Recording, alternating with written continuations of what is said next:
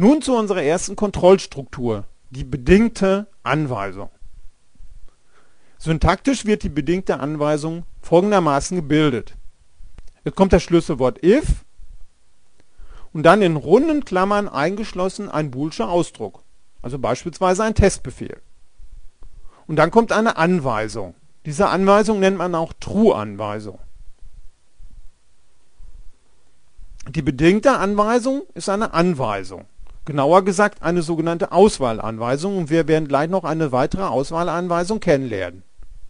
Eine Auswahlanweisung ist dann wiederum eine Anweisung, genauso wie ein Grundbefehl, ein Prozeduraufruf, die Blockanweisung und die Lehranweisung. Soweit zur Syntax.